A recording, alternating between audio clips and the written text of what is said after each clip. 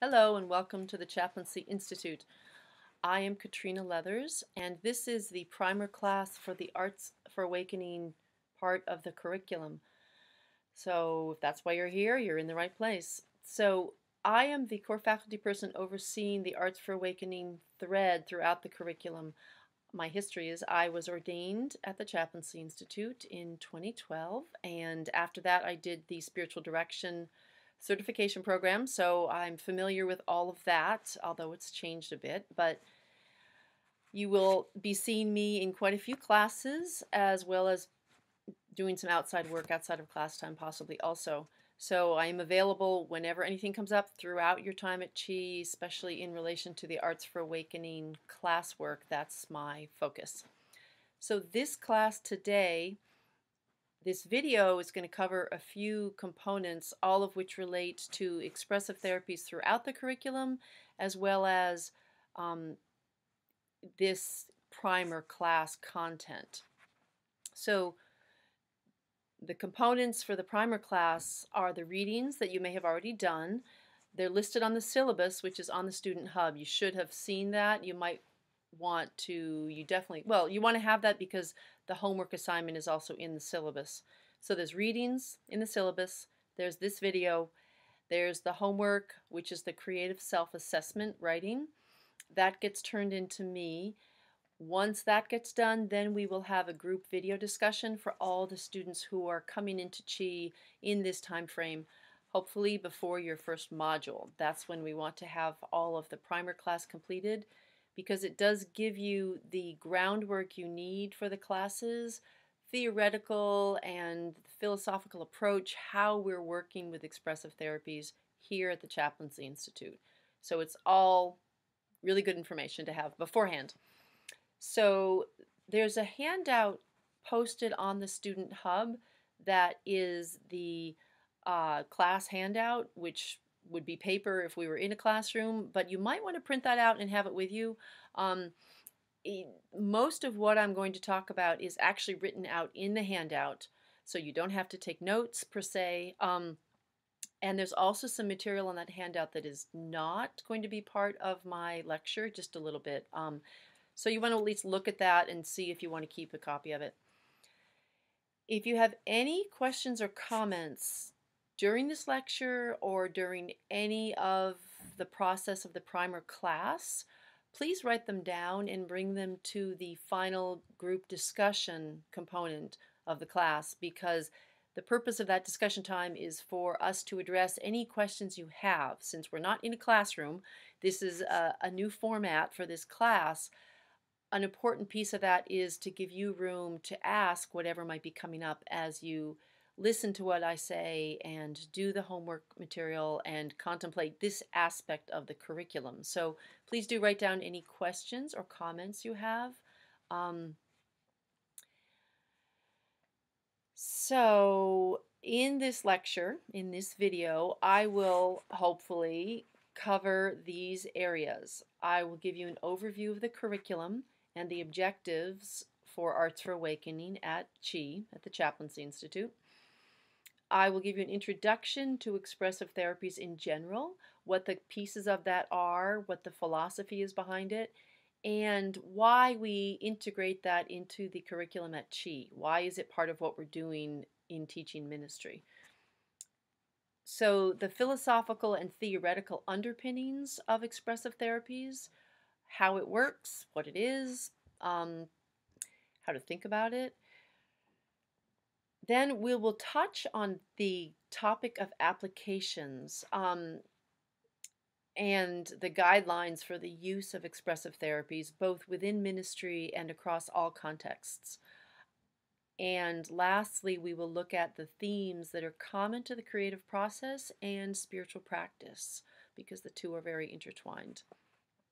So, the curriculum.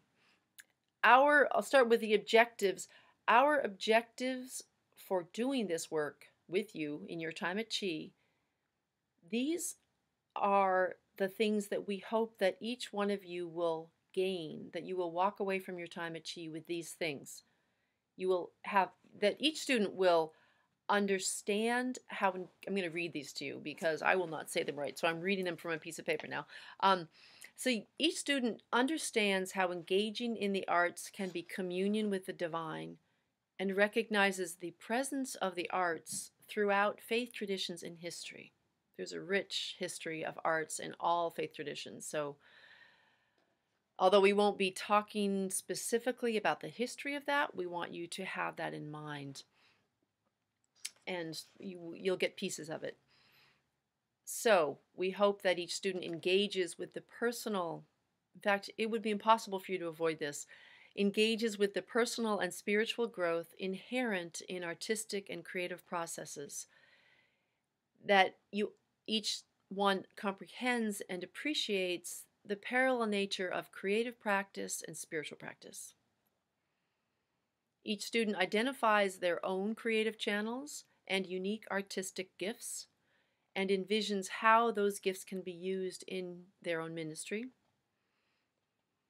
Each student has familiarity with the many modes of creative expression that can be used as connective, healing, and prophetic tools, and also has the capacity to invite others to express their own creative gifts as that facilitates the healing of self of community and the planet. And lastly, our objectives. We hope that each student understands spirituality, creative expression, and healing transformative practices as interconnected aspects of a holistic embodied well being, like points of one star. So, those are our objectives. So, how do we do that? The pieces of the curriculum, we have about 10 to 12 classes, depending on which ones you count, but 10 to 12 classes that are part of the Arts for Awakening thread throughout your modules. Um, most of them are highly experiential and have some sampling of different modalities, different arts practices, so that you're learning experientially, not just theoretically every class, well, some of the classes may not have as much of this, but most of the classes have readings that really do matter. Um, they are the foundation of the work that happens in classes. Um, in my classes, at least, they're not repetitive. The work that I do in class will not, is basically, it's based upon the readings and the content that you would get in the readings. So giving so doing the readings gives you the foundation that you need in order to understand a little better what we do in the classes. So the readings before classes do, really do matter. Um, and a third component of the curriculum is the portfolio. Each student is going to create a portfolio over the course of their time at CHI. The portfolio is work that's done before and after each module there is a document on the Student Hub that's the portfolio assignments all listed out with a checklist. And there's some homework before a specific module that you're taking. And then sometimes there's a writing assignment that comes after the module. All the details of that are on the portfolio document. Um, it's a combination of creative assignments and writing assignments, but all of it is in the genre of creative, personal, and expressive work. It's not theoretical, it's not academic in the expository sense. It's work that you do in your own creative and personal growth process. And the portfolio is a place that documents that process for you that you've gone through in your time at CHI. At the very end of that, you have a choice of whatever form of creative presentation you'd like to create to then offer to the class the module in your last in your last module. So throughout the portfolio you have a lot of freedom of choice of what art forms you're engaging and how you are filling the assignments. So um, it's a lot of creative exploration. So Let's see, the first portfolio assignment is your creative self assessment, which is the last piece of this classwork. So there's some overlap in how these things get done. Um, the purpose of the portfolio, as I've pretty much uh, mentioned, it's to explore the question of how creativity lives in your life, what it is to you, and how you might like to expand that. Um, it's also to push you to explore areas that you haven't explored before, potentially explore things that you might think are not within your repertoire, that are things you might not think you want to do. Oftentimes, when we explore, we discover things that we didn't know about ourselves, and whole new territories open up. So, we're offering you the opportunity to explore and discover new things it is a growth process in your time here at Chi, and the portfolio was a way to do that in the creative creative arena. Um, there's a quote which I think I'll get to later that addresses that too. So the focus areas of the curriculum. There's three ways that we work in Arts for Awakening at Chi. There's the theoretical approach where we give you information. That might be some case studies. It's most of the readings that you're given are theoretical. Um, they give you the underpinning for why and how the arts modalities are useful. So that's the theoretical aspect, and in the classes, there's a, a piece of that too. Um, the personal growth and awareness part is the other piece that happens in the portfolio as well as in your class time. And that also connects to your own spiritual practice. That's the piece, of course, that we're going to be exploring is how creativity and spirituality are interconnected. And so that's part of your own personal exploration process. And the last piece is about the practical applications of expressive therapies to your ministry. The way this works is expressive therapies is a wide range of, of tools and ways of working and approaches that can be applied in multiple ways. Um, all that we can give you, the best we can do, is to give you an introduction to the, the whole arena and to give you a sampling of different different ways of working and you start to accumulate a toolbox. That's the metaphor that operates in my mind for what we can give you is we offer the toolbox and you put in there whatever you think might potentially help you at some point in your work. And most important might be that you gain the the incentive and the curiosity and the courage to explore how creativity can be part of your ministry and how creativity can be part of your life and your practice and everything that you do, basically. Um, but how it's applied to your work is a lot going to be your own construction, taking something that you've read, something you've done in a classroom, and bringing it into a context and imagining how you can use it.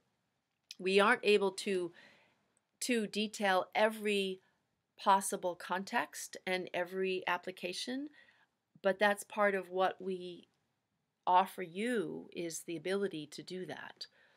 So the contexts that we do explore um, here are your own spiritual practice and your own psychological emotional work and how the arts can be useful in that.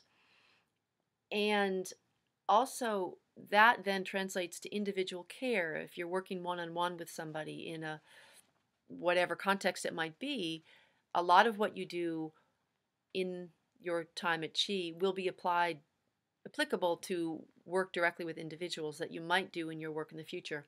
And also group work, because a lot of what we do in classes is interactive within a group context. So that that is something you might take into any kind of group that you're doing or leading um, in your ministry work, whatever that might be.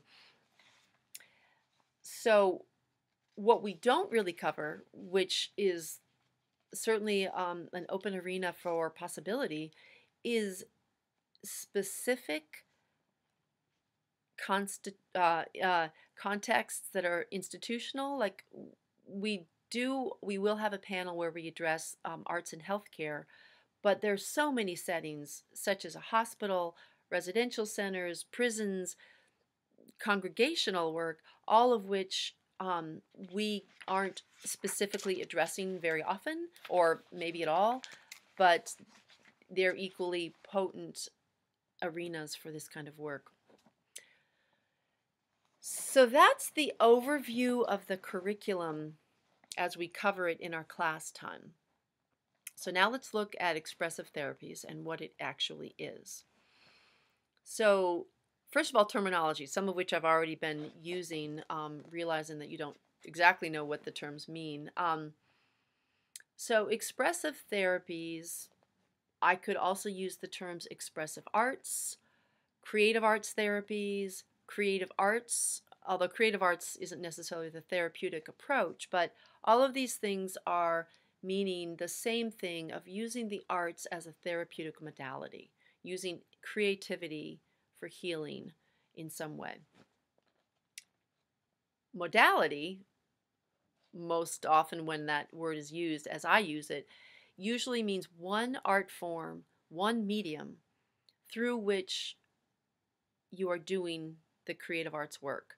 Um, it's the creative form that's being used. For example, you might be doing drawing, so your modality is drawing. It's it's a classic art therapy form. Um, or you might be doing some acting out, some drama, so the modality is psychodrama or drama.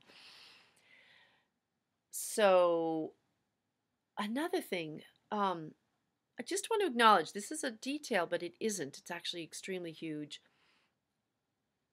In this work, we draw this distinction between what is psychological and what is spiritual in this work, there is an interweaving of those things that in the work we're doing throughout the curriculum, it's personal and it's spiritual, it's your growth in all of that arena of the psyche. So, just to acknowledge that, the personal is always a part of this work and with our clients, and we can call it spiritual, but it also has the emotional component of psychological. So, and we're talking about spiritual care throughout the curriculum. And just to define what that means from my perspective in the Arts for Awakening thread, we're talking about the bonds between people and between oneself and spirit, between oneself and community, between different parts of yourself. So, strengthening the bonds and the relationships, the connections is one piece of spiritual care. Um, another very strong one, which is part of what I just said, but it's it's bigger than what I just said, is evoking the presence and awareness of spirit at any given moment in a context that we're working or in the process we're doing with ourselves in a creative process. So, bringing in the presence of spirit is a piece of the spiritual care work that we're talking about in Arts for Awakening. And another one, which is again overlapping with all of this, is tending to the needs of people when we're working directly with another person, the needs of people that are commonly thought of as existential in the sense of what's their sense of meaning, what's their sense of place in the world, what how do they connect to what their what their purpose is and what their sense of their own deepest truth is? That's part of the work we're doing in arts for awakening because those are the tools that are so effective in that kind of work whether you call it existential or spiritual. So that's how i think about spiritual care as we approach it in the arts for awakening classes so, what actually is expressive arts therapy? Um, here's a bunch of things which don't directly answer it. It's like a montage answer. So, again, I'm going to read this because it's kind of um, jumping all over the place. Expressive arts therapy. It's not an attempt to create great artwork or any art at all, actually. but it's expression, connection, and communion. Thomas Merton actually says art is not an end in itself, it introduces the soul into a higher spiritual order, which it expresses and, in some sense, explains. And I love that quote because that's so much explains what expressive therapies is, especially as we're doing it here. Um, it's another set of languages, other channels for expressing and for listening. Expressive therapy is trusting the process, surrendering to what emerges. It's making connections between self and other, self and a group, self and spirit, and between parts of the self, including the personal unconscious, the soul, or the spirit. It is a discovery of emotional truth. Creativity can express unconscious material and can be an, therefore an integration of the psyche. It's also a practice of mindfulness and presence, responding to one's immediate experience, feelings, and perceptions. It can be an encounter with mystery, embracing chaos, the unknown, letting go, releasing your desire to control and to know what's going to happen. Expressive therapies is body based, out of your mind. It's metacognitive. It's bypassing the analytic, ego based approach of the mind to access the deeper knowing from higher self, from soul or spirit, or God, whatever term you use. Arts is one way to connect to that. Expressive arts is soul or spirit arising to speak through whatever is created, through the product, its spirit taking form. Expressive arts is sacred play. So, more technically speaking, Expressive therapies is the use of creative forms of expression as a way of connecting, healing, and providing therapeutic tools. Art as an expression in service of a higher goal. So, why we do expressive therapies here at Chi?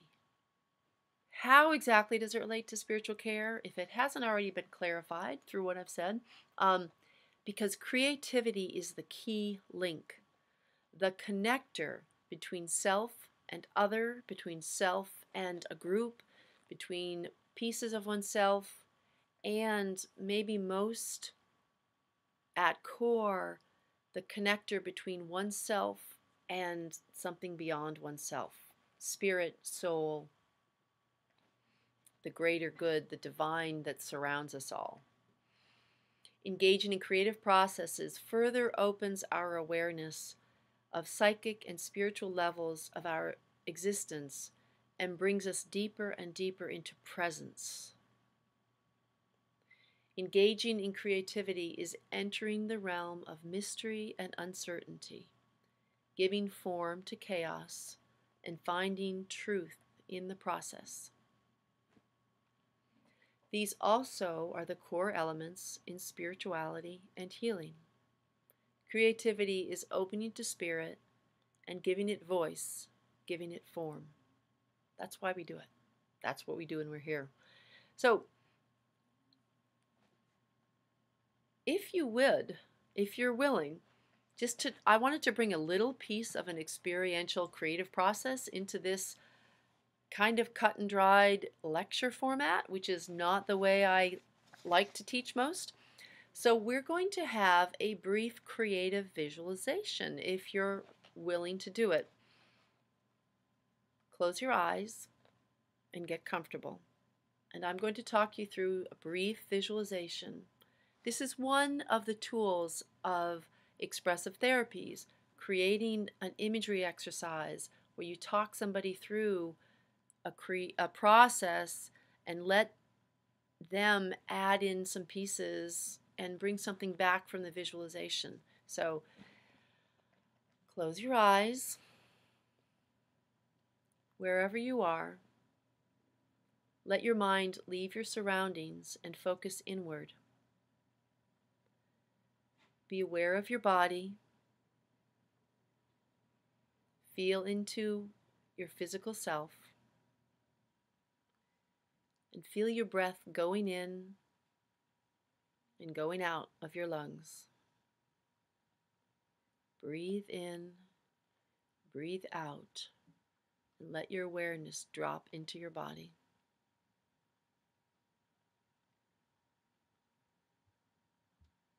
Bring your consciousness deeper inside,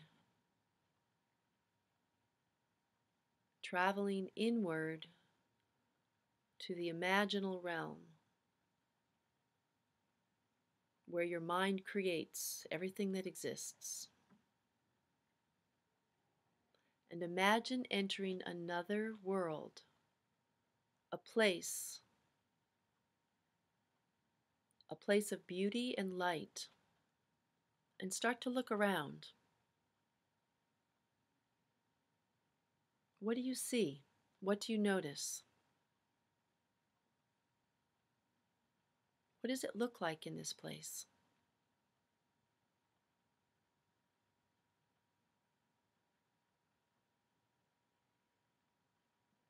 How does it feel being here? And what do you find as you wander through?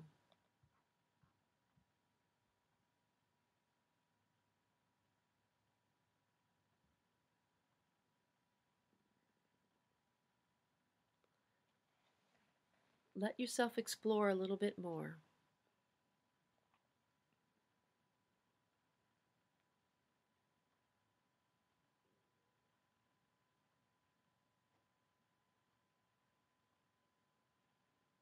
As you move around, you start to see something, someone approaching you.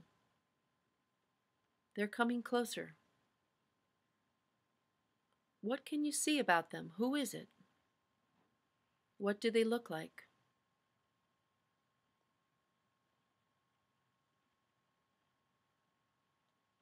Maybe they speak to you, or maybe they don't. Maybe you know them, and maybe you don't. But let them come close because they are bringing you a gift. They are bringing you something that you need or something that will benefit you in your life and in your work, maybe. Let them give you this thing.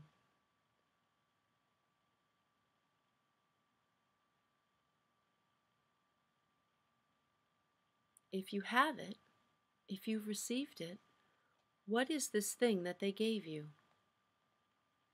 Is it something you can see? Is it something you can hold? What do you know about it?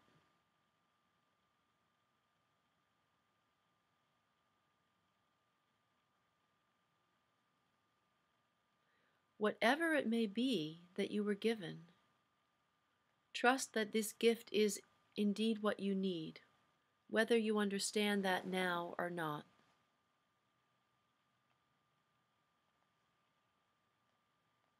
Give gratitude to that being that brought you this gift.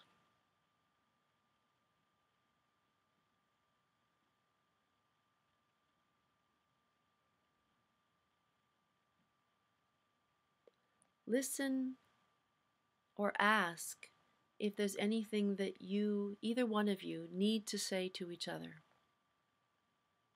And take a moment to do that if there is.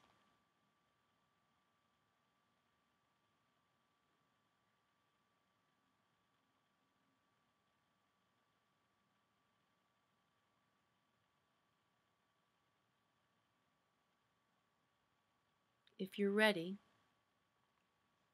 Return from that place, return from that world, come the, through the same path that you went to get there.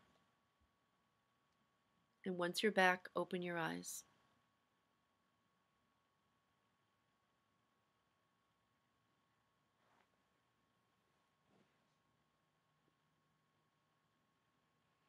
If you'd like to take a moment and turn the video off to do some writing or draw, whatever you want to make a record of what you just experienced if you'd like to, to, to turn the video off and come back when you're done.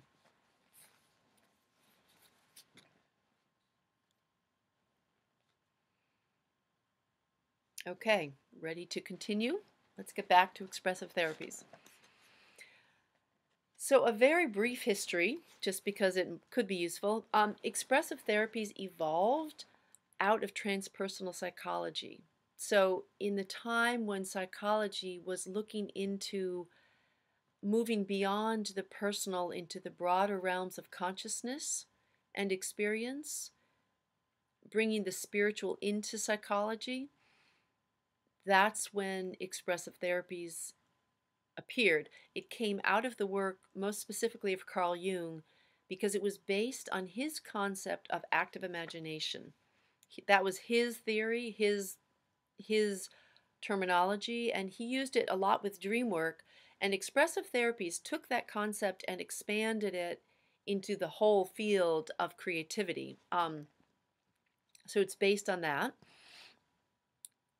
So the source of expressive therapies is coming from that time when when the personal, psychological, and spiritual were really being combined in transpersonal psychology, and then that brought the creativity in.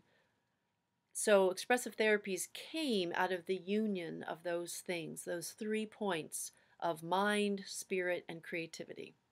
So that's the foundation. Active, uh, active imagination is a, a set of techniques or an approach, a mindset, which aims to amplify, to understand, and to integrate the contents of dreams and creative works of art. So it's an approach to working with arts. And that's what distinguishes it from art because in artwork, it, it's I won't get into that, but it's a different approach if you're doing art for art's sake as opposed to doing art for the sake of active imagination and healing and exploration of the psyche. So when we're doing active imagination, you are allowing creative forms to emerge while you exert as little influence as possible on them. You're not trying to create something out of your mind, you're letting the creative impulse guide what is creative. It's not ego work. It's not coming from your ego consciousness. So it's not your usual mode of working in the world. It's not your usual mode of consciousness. It's an altered state of consciousness in a way. So part of that can be um, verbal processing. Classically, um, a verbal processing component can help someone to understand a little more deeply what they've done in the creative process. Um, this is distinct from, different from interpretation. Interpretation is something that can be part of art therapies, most classically. Um, there's a whole field of traditional art therapy which takes a drawing and interprets it. It's a diagnostic tool, it's a way of trying to understand, um, usually trying to understand, um, you know, emotional dysfunction or or what diagno- diagnosis would be appropriate. That is not what we do. Um, interpretation, typically, um, from the perspective of expressive therapies, typically interpretation is a way of narrowing the creative expression, pinning it down to something we can understand and categorize. And many people will write about, and you'll do some reading along the way, that many people write that this actually is a is a very deep disservice to the creative process, to our psyches.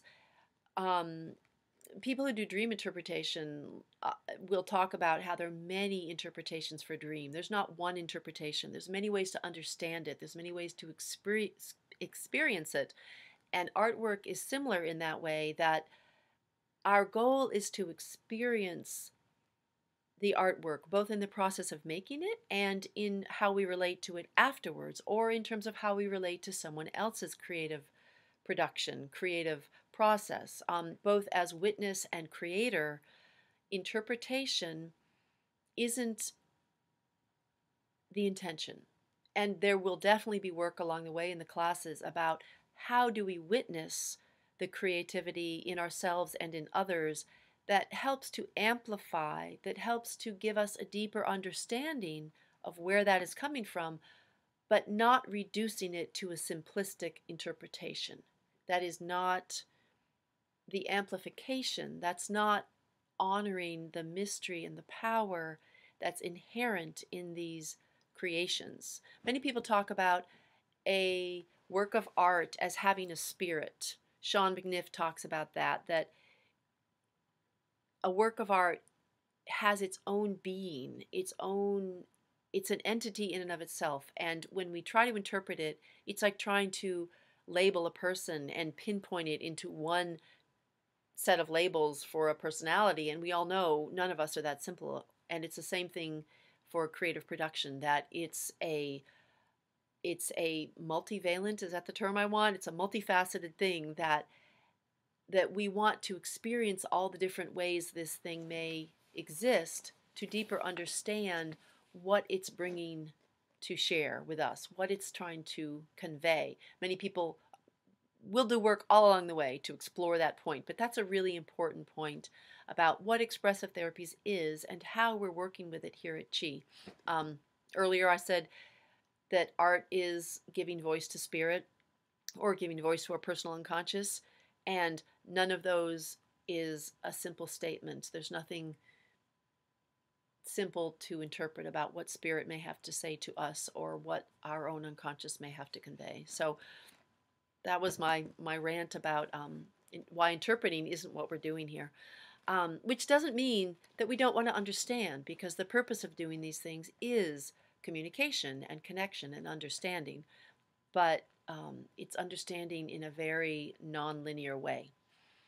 So, back to my notes expressive therapies can be focused on one modality, one art form. Like you may have a process where you're doing drama and you're doing drama therapy or dream theater or theater of the oppressed, and you're using drama. Of course, drama includes all kinds of things so another example would be um, uh, art therapy, visual art therapy, where you might be doing painting. And so the modality primarily is visual art, painting. Um, intermodal expressive arts is when you go between modalities, intermodal.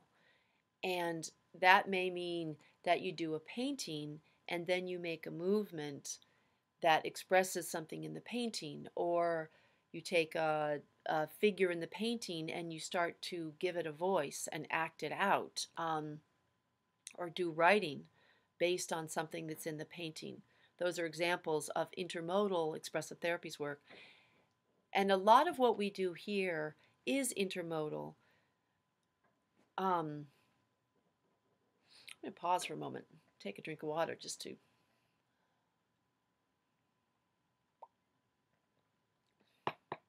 The classwork here usually involves more than one modality. When you move between modalities, it can be a way of understanding and expanding the material more deeply. Um, there's a phrase that you don't necessarily need to remember that's called intermodal transfer. Uh, it's an expressive therapy's uh, technical term, meaning that when you move from one creative modality into another, and that can be anything, you know, moving from making a sound to taking a shape to express the sound, or doing a drawing and then doing a free write to express something in the drawing. When you transfer from one modal, from one modality to another, it changes and it expands the experience, and that's part of the inherent therapeutic quality of expressive therapies it's also part of what makes it such a powerful connector, such a powerful tool to use for communication between all the entities that exist. So, um, the training in Arts for Awakening at Chi is very introductory in terms of expressive therapies. Um, it's not training you to be an expressive arts therapist, but what we're hoping that it does is that it leaves you with a good range of awareness of all the different tools and the intermodal way of working with them so that you can then bring that into all of your places later on. So I'm going to give you a quick list of the different modalities that you probably will encounter at some point in your time in the in the modules at Chi. Um, it might even just be a taste, and there might be some of these that aren't happening if the content of classes changes because it does sometimes. But this is an overview: painting and drawing, um, images on cards, working with pre-printed images, guided uh, spoken imagery like we just did briefly in this video. Collage work, you definitely will be doing that. It's a very great modality, very accessible. Um, clay, I'm hoping you have some time doing working with clay with your hands. Sand tray found art, where you're using objects and creating scenes out of them. Storytelling, whether written or spoken creative writing. There's a lot of creative writing because creative writing, whether it's in a morning pages, which is a Julia Cameron practice, or free writing, just letting yourself write, um, poetry, creative writing happens in a lot of ways. Soul songs, using your voice, authentic voice, using your voice to create and improvise. And that might include some percussion instruments at some point um, improvised body tales as a form of storytelling. Body tales is a specific form that um, I'll mention later. Um, psychodrama and theater, that happens in a variety of different ways. Um, and it definitely will be included in a couple different classes. Dream work, hopefully with painting, writing, dialogue, drama, movement that all can be part of dream work. You'll get a bit of that for sure in one class. Body sculpture, just using a shape or movement. Authentic movement, which is a particular form of moving from an inner source. We, I will have a class in August where you do that. That's part of the August class. Um, there also can there also will just be brief or longer expressive movements, just using movement to check in even. That's an expressive movement that you might find. Sacred dance. I don't think we're actually going to get into much of that. Unfortunately, we you might uh, get that one of the Saturday monthly services. Um, we've done that. Um, but sacred dance is one modality. Music making, improvising music with instruments. Kirtan is uh, you have a whole class in kirtan that's a beautiful form of using voice as an expressive spiritual practice creating an altar and creating a ritual. That's sort of not expressive therapies per se, but it's it's all connected. And then performance art, which you may choose to do as part of a sermon. I don't know how that falls in your sermon checklist required forms, but it certainly is a form that works. I did it in one of my sermons at Chi. Um, and you might also do that in your final presentation in your last module for your final assignment for the portfolio. So a performance art involving any art modalities you want. That is a wonderful, powerful form of expressive therapies. So all of what I just said, um, I have no doubt that as you listen to that, some of you may have had moments of saying, "Oh no, oh my God, I can't do that. That's terrible. What? What? I don't want to do this. What have I gotten into?"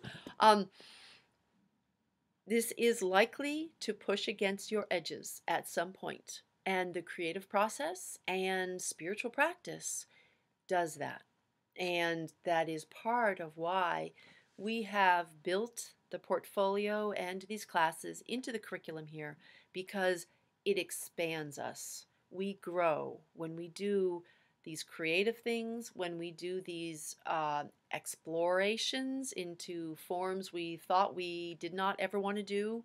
We discover parts of ourselves that we didn't know.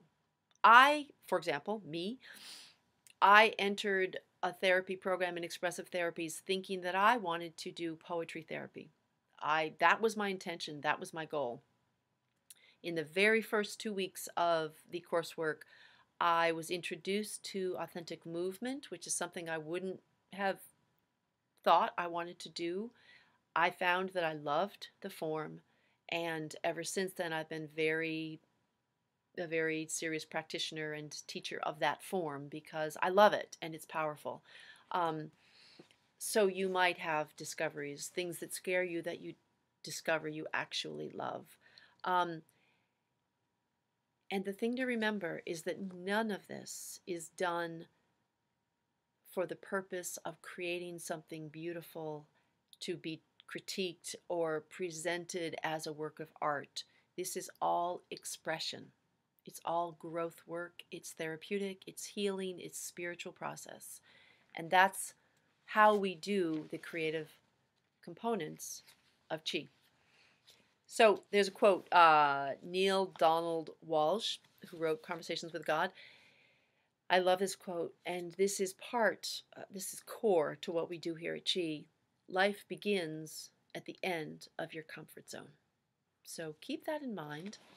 And also keep in mind that um, in your time at Chi, anytime you have something you need to discuss with anybody, but certainly with me, a phone call or an email, it's all you need to do. So, um, a couple other points. Um, expressive therapies has some scales, as I call them. It can take different forms at different times. One of the scales is sort of a directive or directed to a non directed process, meaning some of the things we do are very um, directed that you will be asked to do something like do a collage on your concept of God. That's a very directed process. And then others are very non directed. For example, authentic movement, saying, close your eyes, and move however your body wants to move. So that's a scale of the directed to the non directed process, and everything you do will fall somewhere there. And another similar scale is the generative to responsive processes. The generative is when you create something out of nothing, for example, a movement that you just make up, or you do a drawing that just expresses something that you feel right now. You're just generating it yourself. As opposed to a responsive process where you look at an image and you experience it and you write about or talk about what it brings up for you and how you would give voice to that or you do something in response to something. So we play with both of those sides of the scale also. And just to acknowledge that some things are going to feel more comfortable for some people because some people might prefer things that are more directed and more responsive because there's not as much freedom and it's therefore maybe not as frightening because there's it's it's not completely wide open. It's a little safer and other people will feel more constricted in those those uh, on that end of the scale. They want things that are more non-directed or more generative, where it's wide open what they produce and what they create and what they express. And so that's something to keep in mind throughout your work in your coursework and just to notice what you're comfortable with. And also, whenever you do bring this to do with any work with anybody else, just to keep in mind that different forms have different levels of comfort based on how directive they are, how much they're responsive versus generative, so just that's something to point out about expressive therapies, one of the technical pieces. Um, okay, one more um, philosophical point. Expressive therapies traditionally was created as a tool for psychological and cognitive understanding um, with a focus on analysis or verbal processing in order to deeper understand and integrate into the mind what was expressed, um, which is different than the interpretation. It, it's sort of a fine line, just to acknowledge that.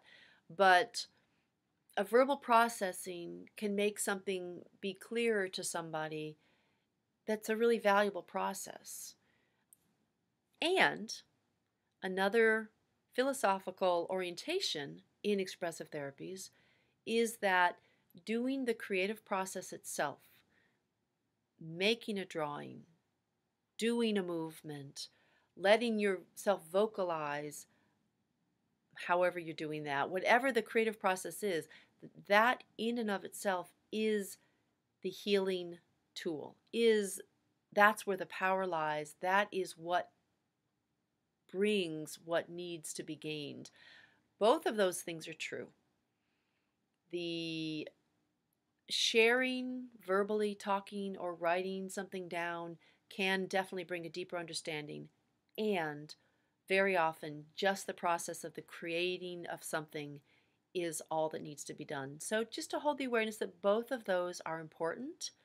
Neither one is more essential although there may be a time when one of them is called for more than the other. There may be a time that somebody does some movement and you've witnessed this, and there's nothing that needs to be said. There's nothing that needs to take away from the power of that creative expression, and that just witnessing it and having it experienced is enough. And there are other times where that verbal piece is needed to bring more closure or understanding. And I'm talking generally because, of course, it's wide open how and when these things will manifest. But to keep in mind that the verbal processing is sometimes useful and not always needed. So, so the next piece in this discussion is about applications. Um, one of the things that has come up in classes, certainly at times, is when people go through the process in class of an expressive therapies experiential component, and then the question is, but how am I ever going to use this? And to acknowledge two things, one of which is half of the purpose of the Arts for Awakening curriculum is your own creative process as a self awareness and a spiritual tool, as a practice. But the other piece about applications is um, how you will ever use it, as I've said before, is going to depend on how you develop the creative aspect of your own ministry.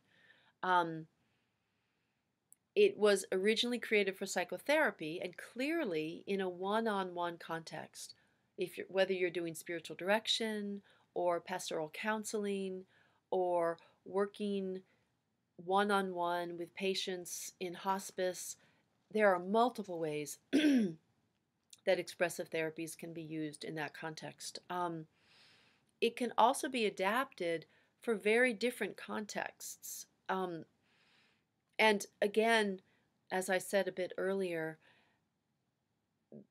it, so much is context dependent and so much depends on what your work is. Um, but you can bring the creative approach into education, into spiritual direction with groups or individuals, community building. There's so much in expressive therapies that's great for community building or working with particular issues within a community. Social activism, using artwork as a mode of social activism, and you'll get some of that, um, I believe, in one of the classes with Theater of the Oppressed. Any institution where you might offer groups working in prisons, working in, with cancer patients, working with people who are grieving, who are bereaved. All, the arts are so useful in those forms in so many ways. So, again, the image of the toolbox that we are giving you a set of tools, and they are really only introductory because you hopefully get a taste of all of the different possibilities. And then anything that you're inspired by that you might want to use in your own work, you will probably need to explore it further, learn more, read more, and and there is reading in the um, in the uh, readings beyond the assigned readings. There are recommended readings in the curriculum online that you can learn more, and there are many classes both locally in the Bay Area, but also if you're elsewhere, you may find classes. Um, and it's in the handout a list of names that if you Google them, you will find there are particular forms offered by either particular people or nationwide or worldwide organizations offering a particular form um, where you can learn more. And then learning more gives you more tools for how to apply it to different contexts. So, I've given you some examples of specific um, applications, but I'll just mention a few more. Um, art projects with themes in any group setting that you're doing, doing a collage around a theme of bereavement or remembrance or anything uh, spiritual you will in your portfolio have a lot of examples of things you can do in spiritual work with people um, um, I talked about this already.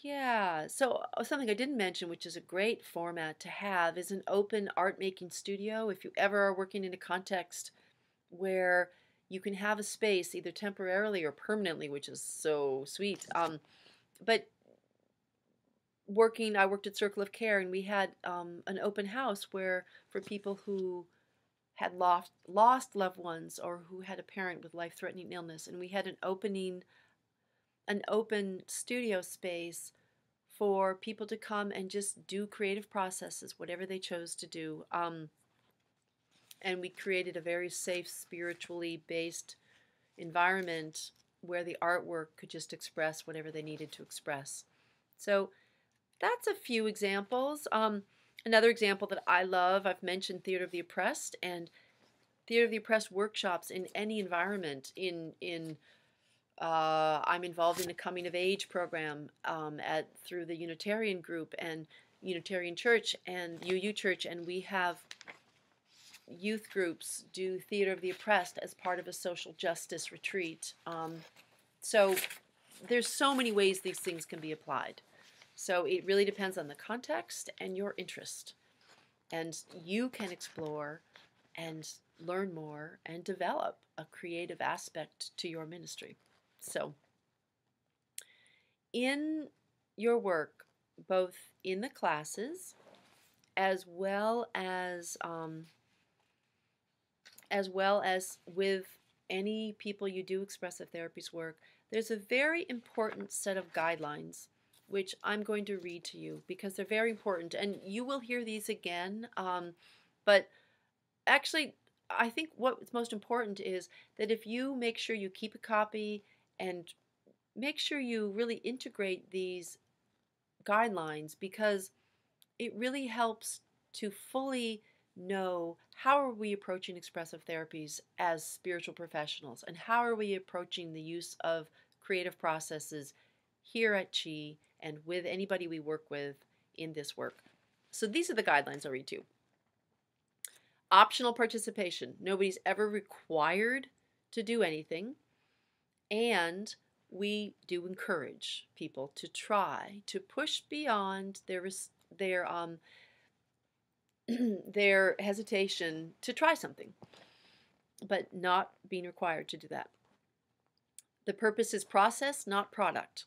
It's not to make art, so no critique. and no critique to acknowledge also means be careful with praise because the presence of praise implies the possibility of critique.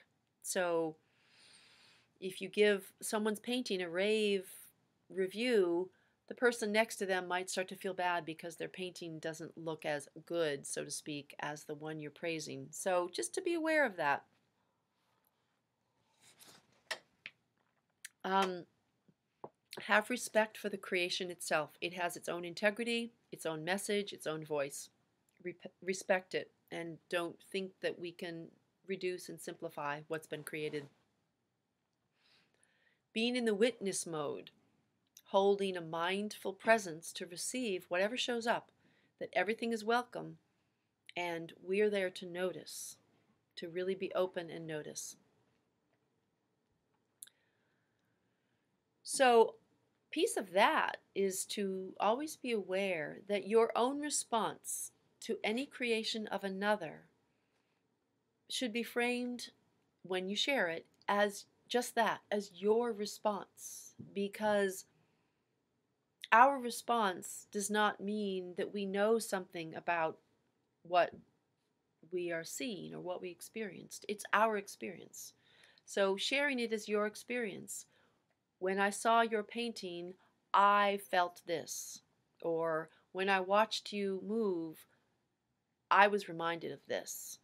So that's a way of sharing when we do share that really respects that we don't understand what the creator was experiencing.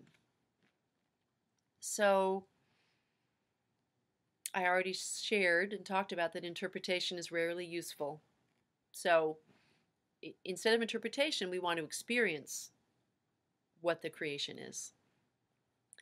Expansion is valuable. Expansion, not interpretation.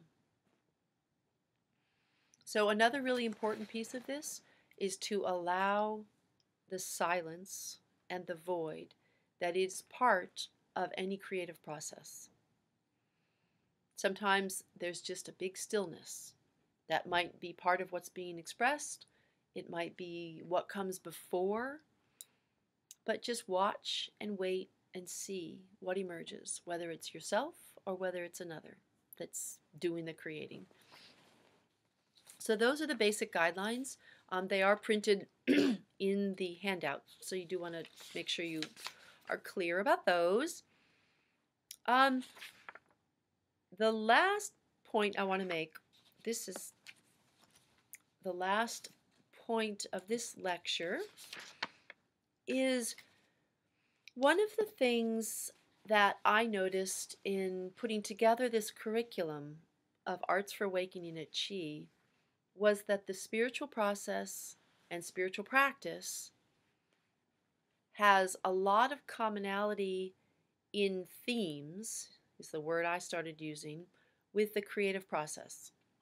So both creating and spiritual practice share common themes that that are addressed sometimes explicitly and sometimes not specifically in the modules, but they are part of the portfolio work, that these themes are a piece that you will be doing writing about after the classes where a theme is either explicitly explored or just part of what the work the creative work involves a particular theme went along with it pretty well so that assignment is after the class to write about that specific theme. So you'll see that in the portfolio document.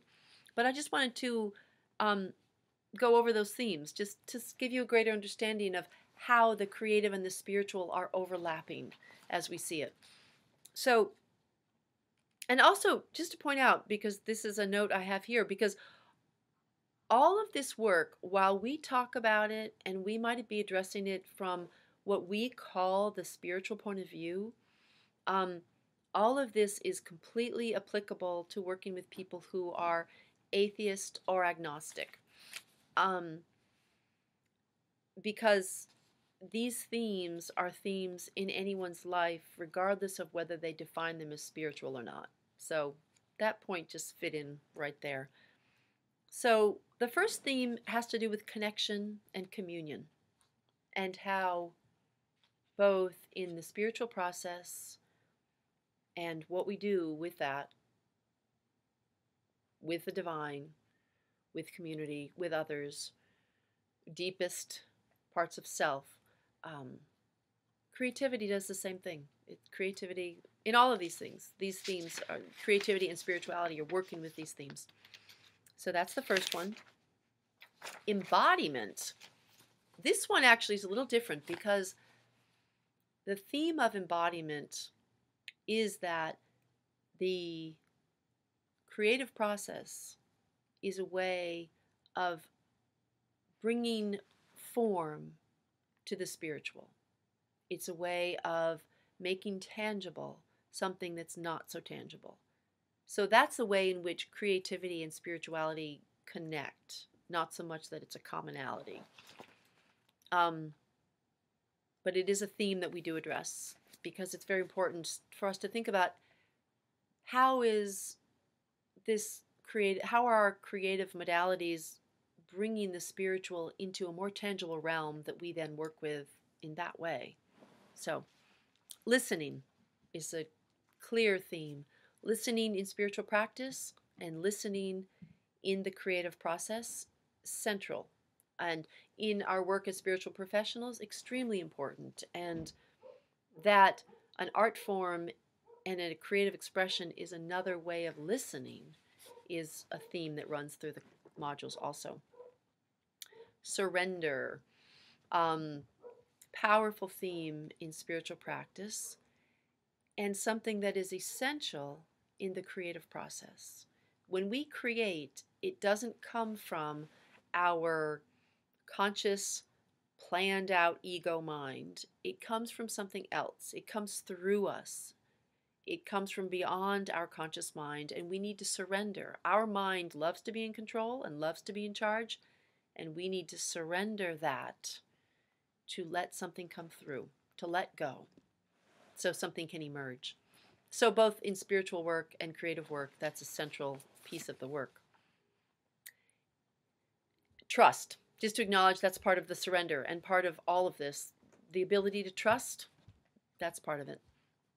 Improvisation. Um, improvisation is connected to the listening and to the trust, but improvisation means we never know what's going to happen. We never know what's coming at us in life. And the creative process is a way of practicing improvisation. It's a way of letting go of our planning, letting go of our concept of what's supposed to be, and responding in the moment from our present experience to whatever is happening.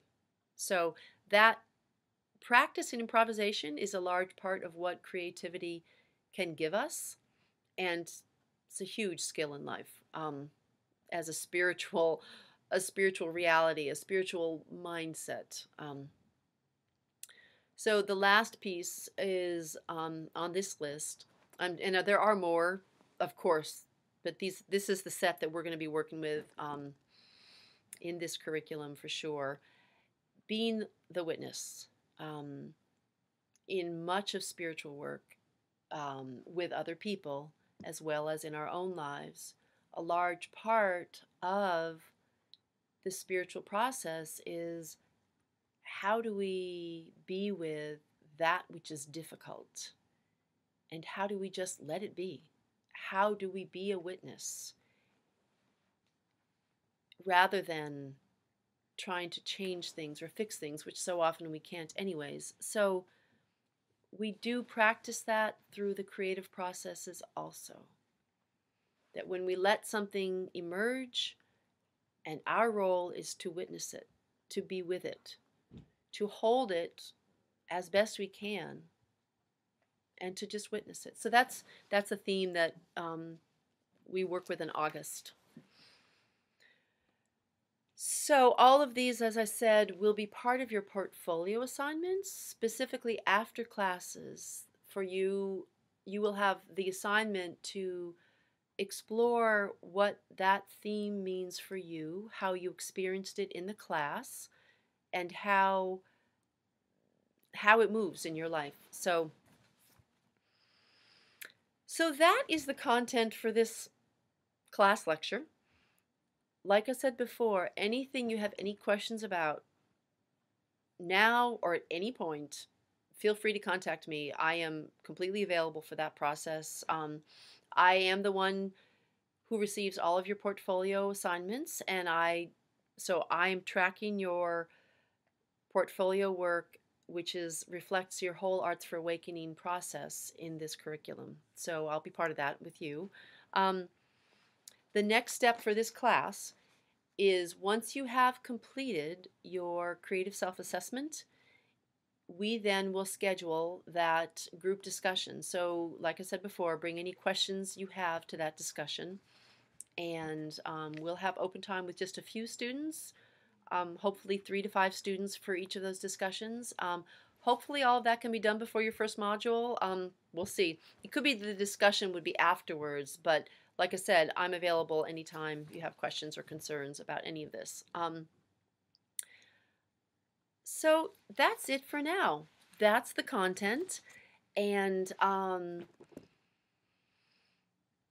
look it all over. See how it sits with you. I look forward to reading your creative self assessment and working with you throughout the process of your class time. I will be teaching uh, four or five classes beyond this one throughout the year, so I will be seeing you in those classes as well as in between um, in whatever way makes sense. So contact me for anything you need. Be well and blessings on your work for all your time here at Chi.